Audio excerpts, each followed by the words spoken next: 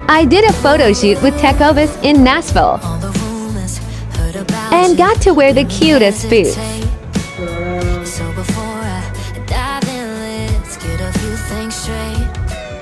If you want